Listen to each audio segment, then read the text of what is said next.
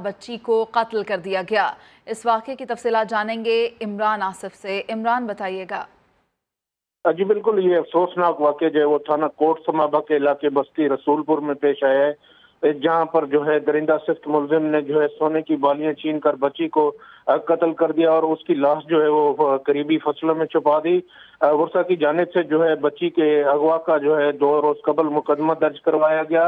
इलाका मकीनों की निशानदही पर पुलिस ने जो है वो मुलजिम को गिरफ़्तार कर लिया है।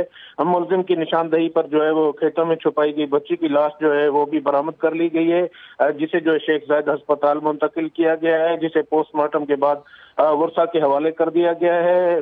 पुलिस का ये कहना है कि मुलजिम ने सोने की बालियाँ छीनने की खातिर आठ साल बच्ची को बेदर्दी से कत्ल करके और खेतों में लाश छुपा दी थी, जिसकी निशानदेही पर लाश बरामद कर ली गई है। आप अपडेट कर रहे थे इमरान, शुक्रिया आपका।